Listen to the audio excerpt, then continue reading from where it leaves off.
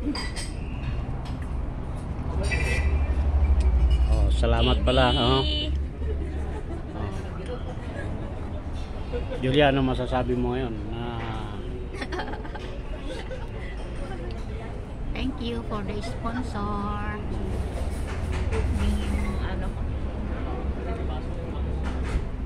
Ayan naman yung sponsor ko natin. Oh. ikaw naman. Ikaw ano masasabi mo? Kaya masasabi ko Vlog ka naman ah. na salamat naman ito sa lahat na na pagkain namin. Hindi nga naubos mga kapadyak yan. Oh. Titik kung ibabalot na nga lang namin eh. Ay mga kapadyak. Papasalamat kami sa anak namin na siya nag-sponsor po. At pumunta kami rito sa Tagaytay. Kasama po namin yung alaga namin pinamamahal namin. na KD, si ano Bibi. sabi mo KD? Busog ka? Ha? Ayan, oo. Oh, oh, Busog ka KD? Wala eh. Nakahilata na lang siya.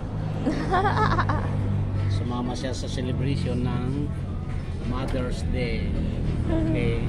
Thanks a lot.